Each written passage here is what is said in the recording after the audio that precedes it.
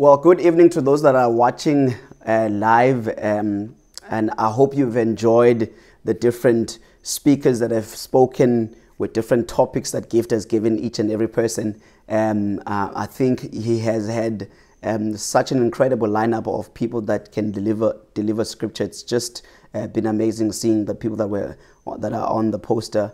Um, uh, well done to Gift for just um, being obedient to the Holy Spirit and being able to listen to the voice of the Holy Spirit um, and uh, being able to reach uh, thousands and thousands of people uh, through this ministry.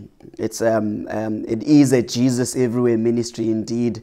Um, the, the number one reason why we do what we do is because we want to see Jesus uh, revealed through each and every individual. Um, that's the number one reason to see Christ, Christ formed in us and through us. Our lives must give an expression of who Jesus is. That's the reason we said yes to Jesus, and that's the reason we follow Jesus. It's because Christ is being formed through each and every individual until we all reach a perfection where Christ is glorified in our lives, in our expressions. And so it really is an incredible, um, an incredible ministry that uh, Gift has started. And well done, well done, man, um, uh, for for finding where your voice is and being able to stand on that and declare what Christ is saying through uh, your heart. And, and you really are a gift to many. Um, I love, I don't know how you do this all the time. I've taken four or five attempts trying to get it to happen. Um, and um, yeah, but it's such an incredible thing um, that you, and just watching you um, unpack scripture. Um, yeah, so thank you for having me. and we pray for you and pray for you always and praying that God may continue to keep you, uh, may God continue to increase you. Uh, may God continue to um, expand your ministry. And before I go into the word, I really believe that that um, that um, this ministry that God gave you, um, even years and years ago, um, uh, when He planted the idea in you, you have no idea uh, how many people it's going to reach um, and how many people are going to watch and are watching already. Um, and um, it's reaching, it's reaching, it's reaching thousands and millions of people. And this is just the beginning of what God is going to do and uh, and use you through this ministry. So well done for being obedient. And so yeah, let's get to it. Um, the the the topic that gift gave me is on redemption. Uh, it's an incredible topic uh, concerning redemption. And um, redemption is such a, a, a, a, a, beautiful concept that really reveals, um, reveals who we are and who we've become through the vehicle of redemption. And so if you look at scriptures, if you study the entire Bible, if you look at from Genesis to Revelation, uh, you will see that the, the vehicle of redemption uh, begins to flow through the scriptures, through each testament, um, from the old covenant to the new covenant. Um, the, the vehicle of redemption is flowing through the lenses of each book. And so it's incredible when you understand that, that um, that uh, that the term redemption is such a powerful weapon um, that God has crafted in order to redeem us um, into our original state of creation. And so, um, when you look at the concept of redemption, when God, um, if we look at redemption as a concept, um, even though the word redemption uh, is used interchangeably with the word salvation, these two words um, they, they, they carry the same assignment but um, in demonstration they are completely different. And even though they carry the, the very same assignment the word salvation uh, to save someone means uh, is to, to to paint it in a picture format. Uh, salvation means to save someone from something, meaning to save someone from drowning. Um, um, you reach out your hand and you save that person. That is salvation.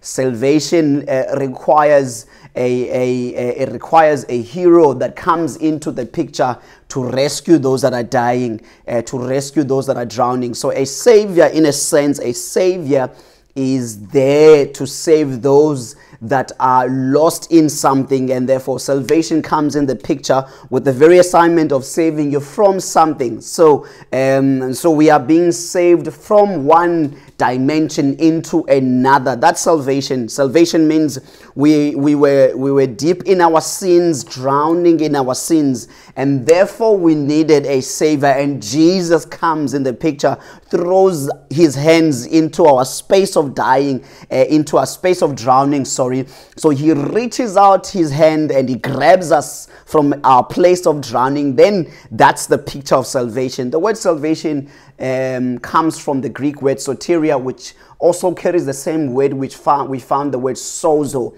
which means to be rescued, to be delivered, to be freed. So that is salvation. Salvation, Jesus is our Savior because He comes into the picture and He finds us lost. In our lost state, Jesus comes as a Savior and then He rescues us from our sins. And so that is the, the, the state of what salvation is. And, and so salvation is such a powerful thing. And so redemption and salvation, um, um, they, they, co- they, they coexist and work together. These two, these two um, terms are powerful terms. Though they carry the very same assignment, their demonstration um, is, is different. It's not the same demonstration, but it carries the very same assignment. So that is what salvation is. Uh, salvation salvation means. Salvation means you were lost, you were you were trapped, you were you were captured by something, and a savior came in the picture, grabbed you from where you were lost, grabbed you from where from what kept you captive, and therefore salvation comes in the picture and then redeems you, saves you. That's why when we when we cried out for Jesus, our state was in a, was in a position of being lost, and we knew exactly that we needed a savior. So that's why we cried out for a savior. So now redemption. What is redemption? So redemption redemption is this. Redemption if you study the the the the, the old uh, french or, or latin ex, ex, explanation of the word re, uh, redemption the the the, old, the meaning of the word redemption uh, it carries the idea of um, um, uh, or, or, or, restoring something that is that was enslaved um, um, bringing back something. That is what redemption means. It means to redeem something to restore to draw back but also, here's the powerful thing redemption means to buy back. And so, salvation, you can save someone without needing to buy them back. Redemption, in, in, in its sense, redemption means redemption means that there has to be a price that must be paid in order to redeem something. That's, a, that's redemption. Redemption means redemption requires a price. A price must be paid. A, pride must, a price must be demonstrated in order to redeem something. So therefore, redemption means there has to be a price that must be paid in order to redeem something that was lost uh, the word redemption, the, if you study the etymology of the word, uh, it comes from, it's such a beautiful word. It's broken into the word red means to return back, to redeem something, to restore something. And so, therefore, it carries the same idea. The, the, the, the, the French idea or the Latin expression is to restore something by buying it back.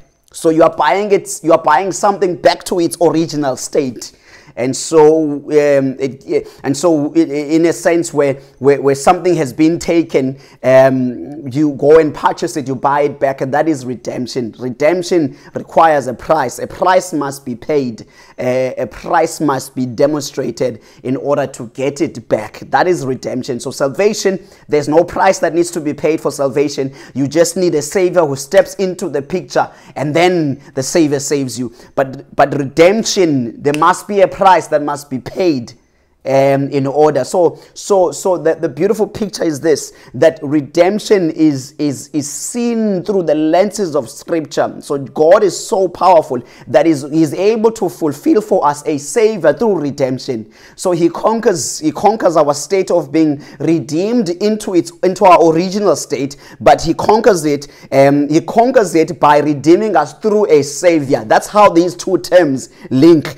We, we are being redeemed through a Savior. There's a Savior that steps into the show, and the Savior steps into the show to fulfill the assignment of redemption. That's the beautiful picture of redemption. And so we, we, are, we have been redeemed. We are being redeemed because a Savior has stepped into the place. And, um, and so when we look at the concept concept of redemption, Redemption did not begin after the fall. Uh, often we say uh, Adam fell and God then began his redemption plan. No, redemption did not begin after the fall and because because the, the, the concept of redemption so the redemption is not for creation but creation is for redemption we are created to be redeemed and so and so so god creates us uh, so that in our broken state we can be redeemed into the perfect image of god that we've been created in and so redemption did not begin after the fall. Eh, if we look at Revelations chapter 13, I'm going to read Revelations chapter 13. It's such a powerful picture which shows us that before the foundations, before the foundations of the earth, um, God already started the process of redemption. And that process was to redeem us um, into the image of the Son of God. So uh, Revelation chapter 13, verses 8, it reads as follows, and it says, And all who dwell on earth will worship it, and everyone whose name has not been written before the foundation of the world in the book of life of the Lamb who was slain. He was slain before the foundations of the world. He was slain before.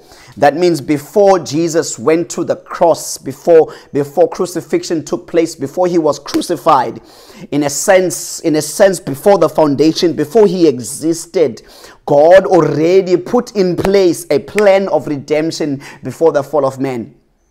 That's why God is not taken by surprise. He's not shocked when Adam falls. He's not caught off guard. Uh, he already has a plan. Uh, he already has a plan in place to redeem you and I. He knows exactly that you and I are going to fall. So, in, in, in, before we existed, God already put in place, before the foundations of the earth, God already put in place the redemption plan.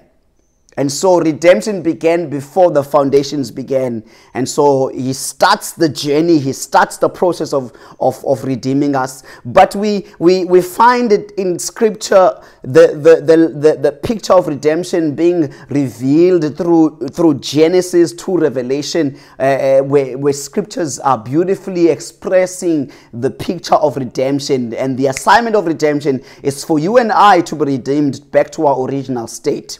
That original state is when God creates men. In, in, in the Bible says, God from the dust, he, he drew from the dust. That term dust may come is where we find the name Adama, which means created from the dust, molded from the ground. He begins to breathe into the nostrils of men. And so therefore, and then he says he then creates men in our, and we see the Trinity Godhead already existing in the, in the garden. He says we now create create men in our image and likeness. That's the original state that you and I are always being redeemed back to. What is the original state? Image and likeness. Um, that's the original state that you and I are being redeemed and restored back to. And the price has to be paid for you and I to be fully redeemed. And so, and so that's so it, before the foundations of the earth, God already started the redemption process and he knew exactly that he needed to redeem us. So when we look at Revelations chapter 13, it says that before the foundations of the earth, before the foundations of the earth, the Lamb of God, the Lamb of God was already slain before the foundations. And so before the fall of man, redemption was already in place, active and activated. Um, and so he puts it into action when, when Adam falls into place. Um, and so and so we look at scripture. Um, and sorry, I'm going to keep turning just to look at what I've written down. So we look at scriptures where scriptures begin to point to us pictures where where where redemption is beginning to show and revealed through the scriptures. Um, it's such a beautiful it's such a beautiful thing.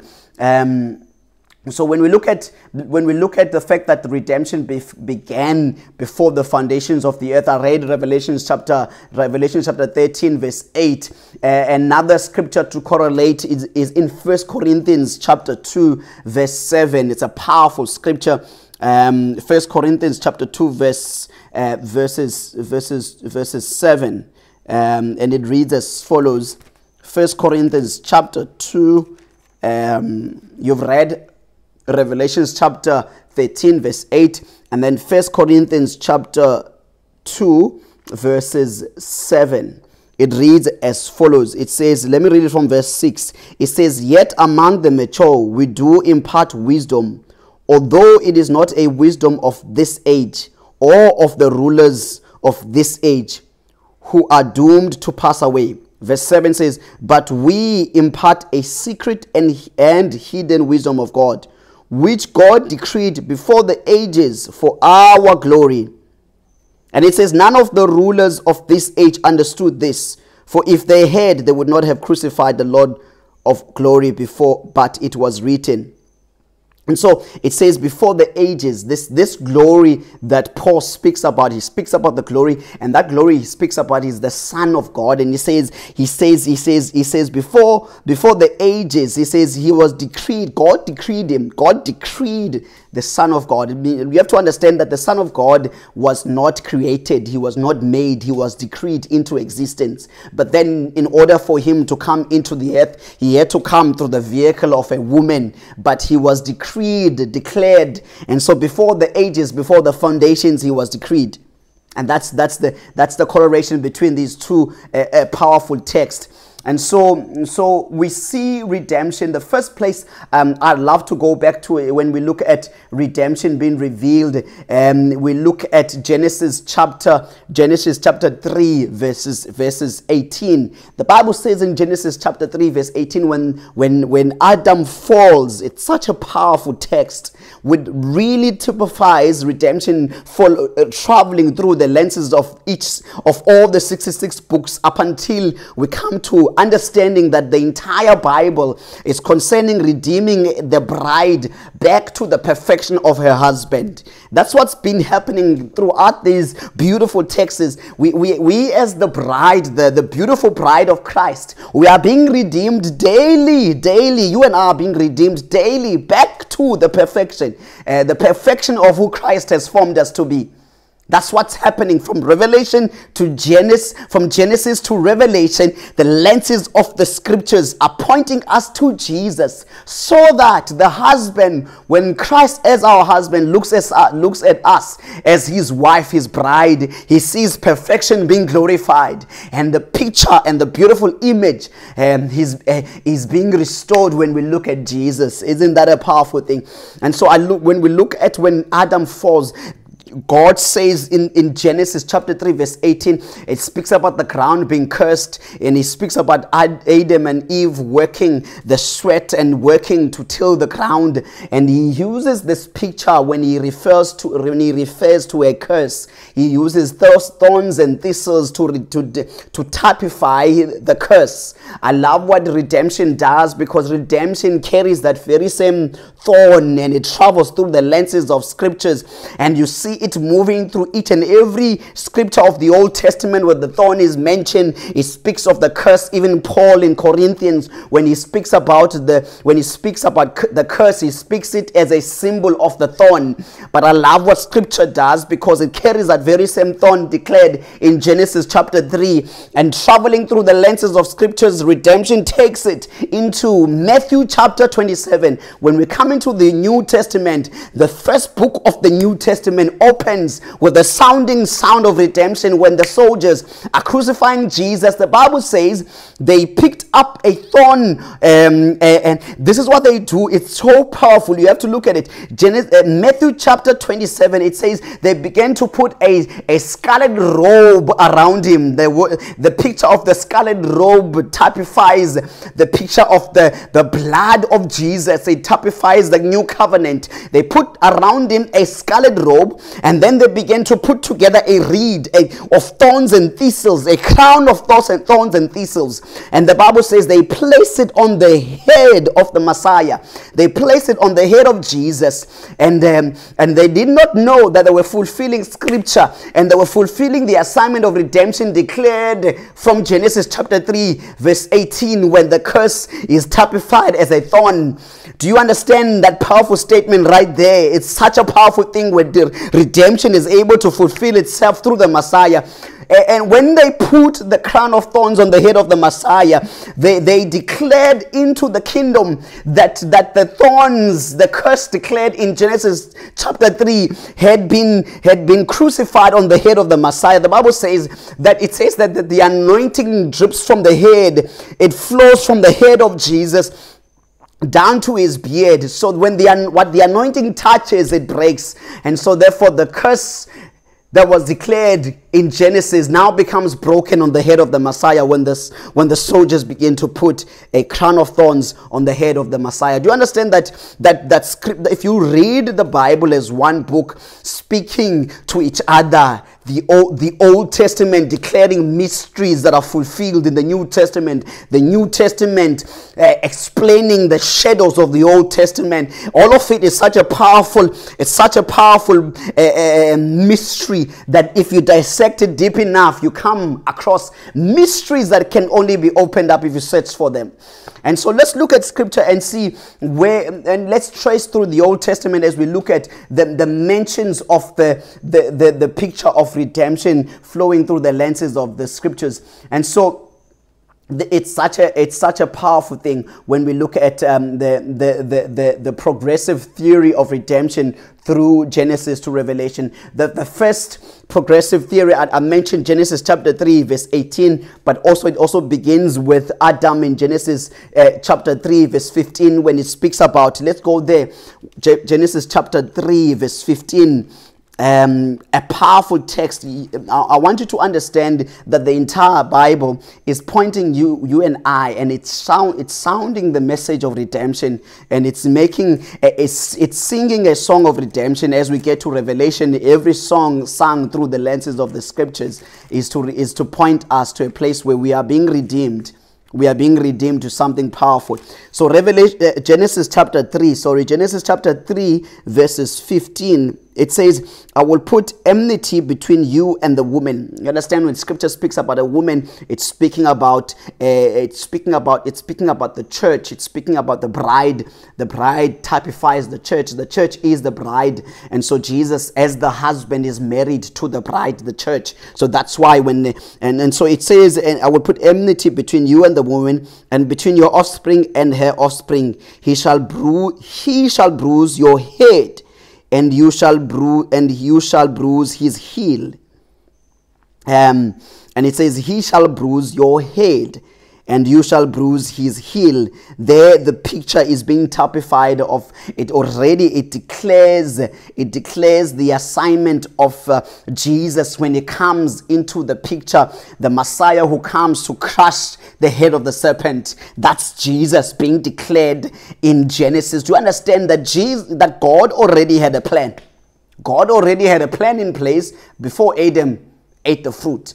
So when Adam falls, God already had the plan in place. And so, isn't that a powerful thing? And we see it again um, um, um, when Abel in Genesis chapter 4, when it speaks, when it, in Abel speaking of the shedding of the blood, uh, a powerful picture of redemption being uh, typified and revealed. Uh, let's look at um, Genesis chapter 4, verse 4. Um, it reads as follows, and it says, and, and Abel also brought of the firstborn of his flock and their fat portions. And the Lord had regard for Abel and his offspring. Um, and then, um, and if you if you connect that also to um, uh, Hebrews chapter eleven, verse four.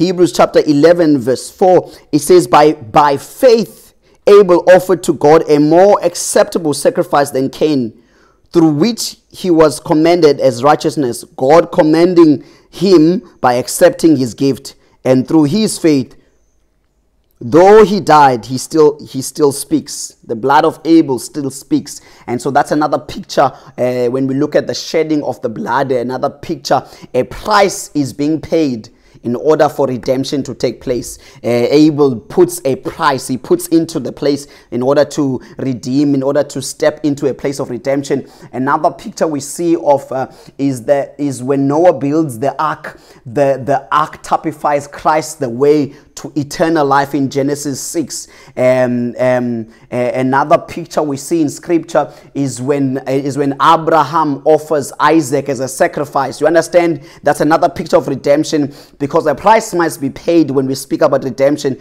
Abraham takes Isaac. Uh, I'm, I'm looking at Isaac as Isaac is traveling with his father to the place of being sacrificed. Um, I would have questioned my father, I would have said, um, where are you taking me? Because this this this this i know what it means and what is required when we do sacrifices. And and so where is the lamp? He continues to ask about that down the line. And Abra- and, and abraham takes isaac and he says something profound. He says god will provide for us. And let us go to the mountain. He speaks to the seven he says wait for us. Do you understand that abraham had the, had the understanding that even though God had commanded him, he knew that God would bring them back. he knew that God would bring them back. He says, he says, wait for us here. We and my son will come back. We need to go to the mountain to worship.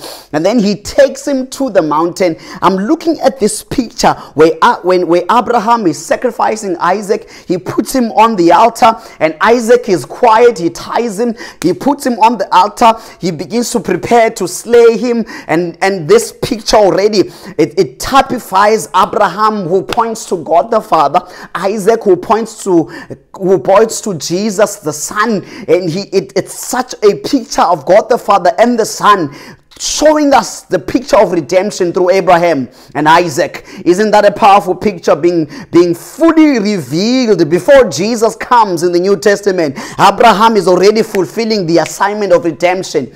And so he, he puts him there because a price, again, once again, a price must be paid. In order for you and I to be redeemed, a price must be paid. And then we see it again in, uh, in when the children of, of Israel are being delivered through the blood of the lamb. We see it through the tabernacle of, uh, of service when in, in Exodus chapter 12 and there's another powerful picture when, when Rahab uh, lets down the spies. This is a powerful picture of redemption connecting from Genesis to Revelation. When, when Rahab 10, when Rahab lets down the spies through the window. Um, spies, you must understand, spies, uh, spies typify, um, when we look about spying something, we speak about, we speak about throwing perspective or it, we speak about throwing your eyes into another dimension. That is what, what it means to spy something. It means your eyes have been opened into another dimension that you haven't stepped into. So that's the picture, the symbol of spy. When we spy something in the spiritual sense, we are throwing our eyes into a dimension that we have not yet entered into. And so Rahab um, in the book of Joshua lets down the spies. And the Bible says that a scarlet thread is let down through the window, and the spies come down the scarlet thread. That scarlet thread points to us the connection of redemption. The, again, we see scarlet, which is a picture of the blood, it speaks of the picture of the new covenant. Here we see again redemption being declared as loud as we can see through the lenses of scripture when we see Rahab letting down the spies. And, and, and this is what, this is what, this is the picture, this is the beautiful picture. Rahab lets down the spies, and uh, that picture uh, typifies to us a connection between the old covenant and the new covenant. Later down the line, when we come into the New Testament, when Matthew opens up in Matthew chapter 1, there we see Rahab connected to the lineage of Jesus. Isn't that a powerful picture? Uh, as we speak about the lineage of Jesus, there's Rahab mentioned as a connecting point to Jesus the Messiah. Rahab was the was the connecting space.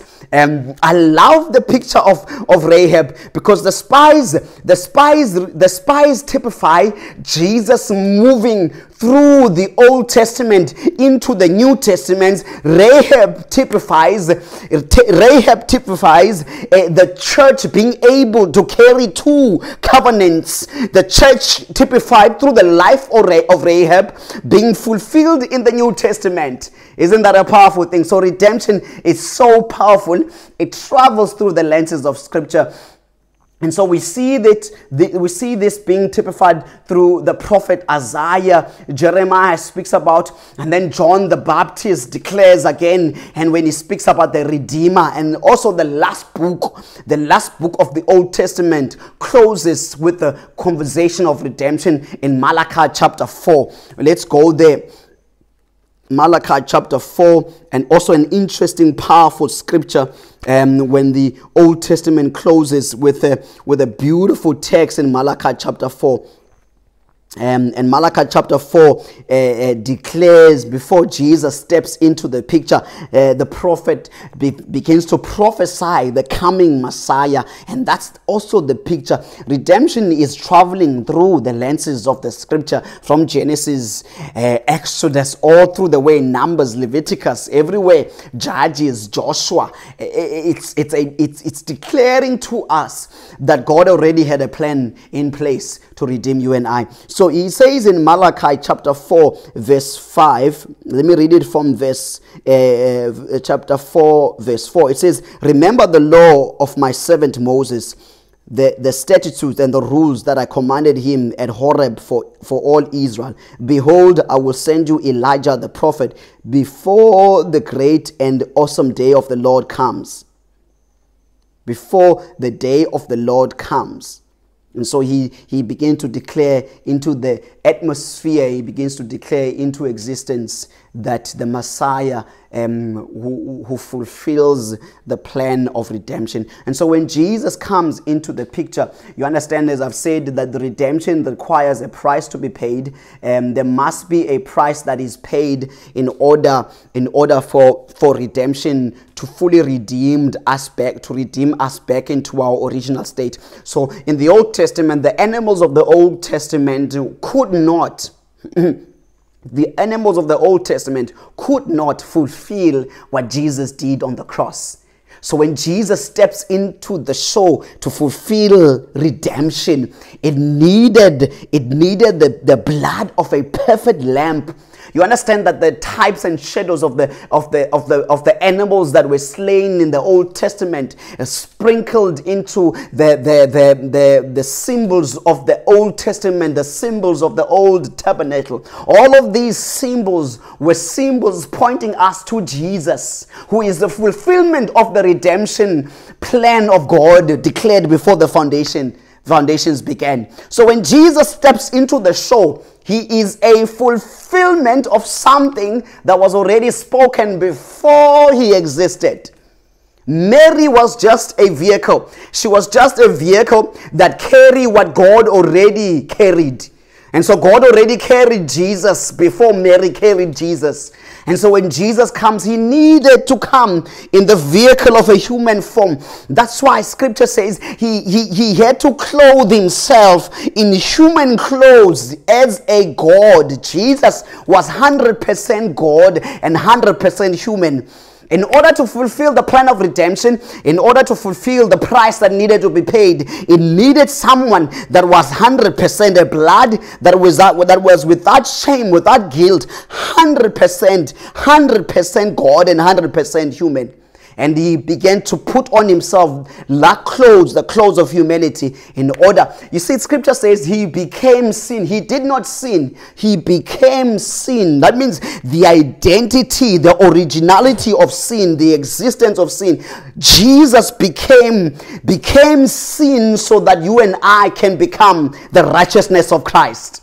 Isn't that a powerful thing? So, so right now, Jesus, Jesus fulfills the Old Testament shadows. He fulfills the Old Testament types and shadows of redemption, and he begins to step into the show. And he says, he says, Moses, the prophets, and the law spoke of me when they spoke of a Messiah, a Savior coming, and I needed a perfect vehicle, and that vehicle was just a, a, a, vehicle, an untouched, an untamed virgin that was not contaminated by anything else. It, it could not come through the sperm cells of humanity because the sperm cells of humanity were already contaminated. It needed a virgin that was not touched, it was not contaminated, so Jesus can step into the show and fulfill the assignment of redemption. And so Jesus comes into the show and he comes into the picture, and, and it's a power powerful thing uh, when Jesus steps into the show because he's coming, he's coming as a savior fulfilling redemption,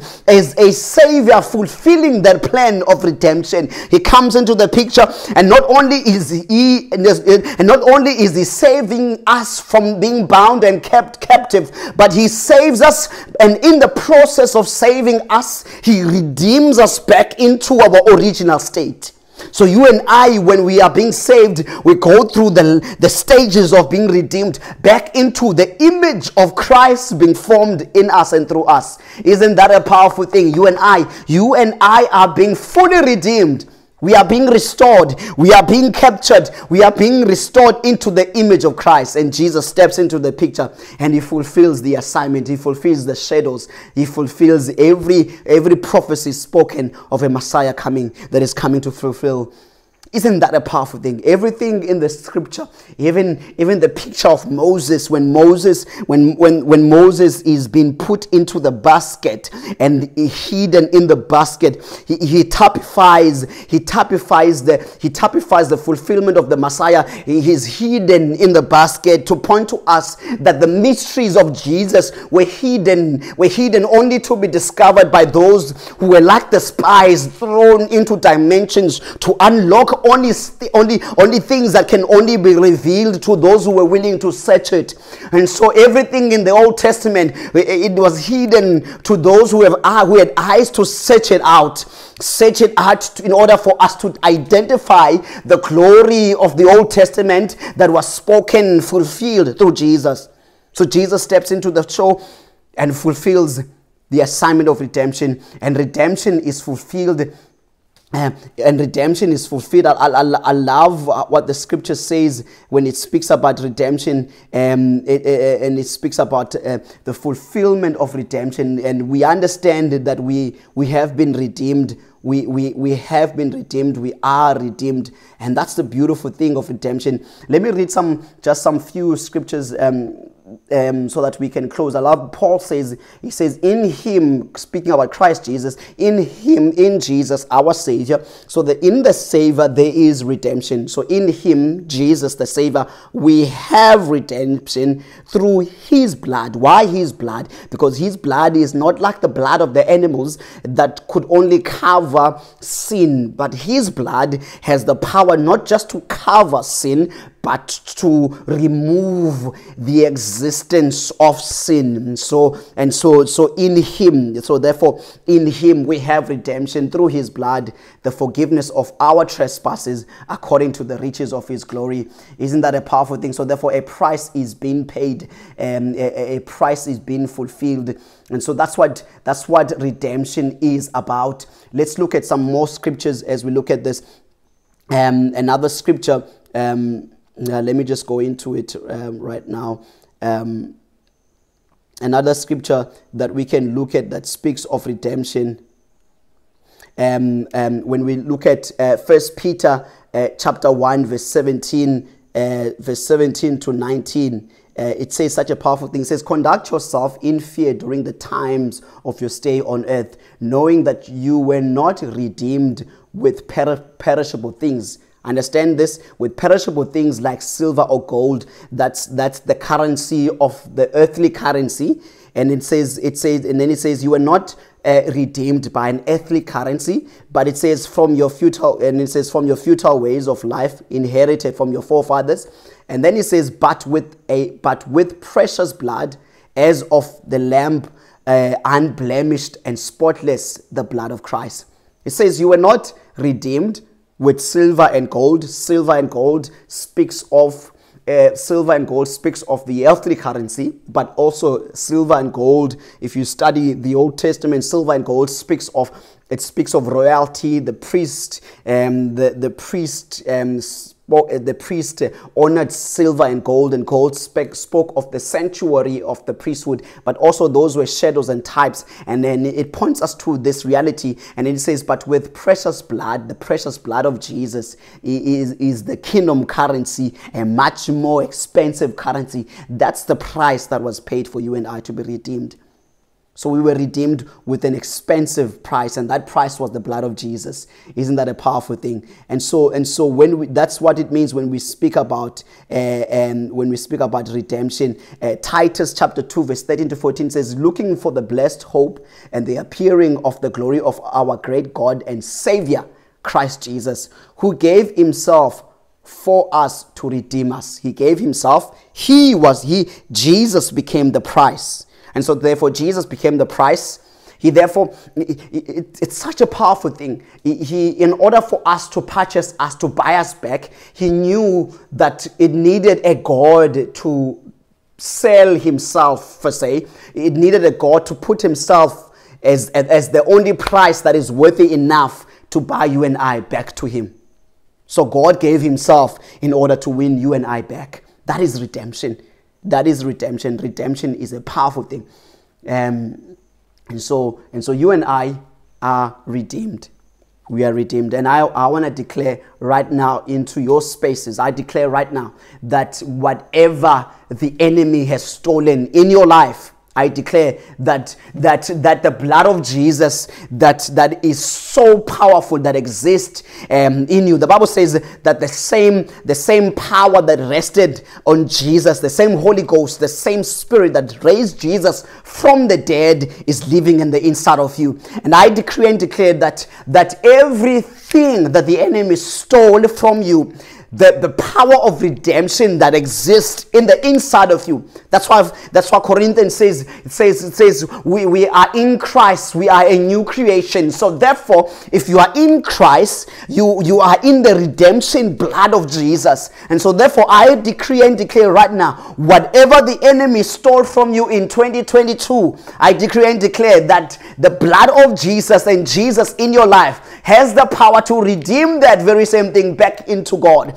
And I want to decree and declare that, that God is redeeming your callings and your assignment back to Him. God is redeeming and restoring your passion and your love for Jesus back to Him. And I decree and declare right now whatever the enemy stole from you, your vision, your perspective, like the spies that were thrown into the land to spy the land, I, I decree and declare as they as, as they went into the land, the Bible says they went into the land, they picked up different fruits that were in the land the, the, the fruits were pomegranates, uh, uh, grapes, and they began to pick up those fruits and they came back into the land and they said, This land existed with grapes. Grapes speaks of it speaks of the, the wealth, the richness, it speaks of inheritance of wealth. And I really decree and declare that you and I are stepping into an inheritance of wealth. We are stepping into an inheritance of the riches of God in Jesus' name. I decree and declare that there's redemption in the atmosphere, and God is redeeming us, uh, is redeeming us back to the fullness, the image of Christ Jesus. We are being redeemed, we are being restored. I want to decree and declare right now whatever the enemy has stolen in your families, the destruction that he has caused in your families, the, the, the, the, the separation that he has caused, the division that he has caused in your families. I want to step into the anointing right now and decree and declare that the Son of God has the power power to redeem whatever the enemy has stolen in Jesus' name. Father, in the name of Jesus, I thank you for every listener that has been listening and hearing by the sound of my voice. I decree and declare right now, Lord, I thank you for what you have redeemed them into. I thank you, Lord, for what you have called them into. In Jesus' mighty name, amen and amen. Thank you, guys, and thank you, Gift, for having me. Um, awesome.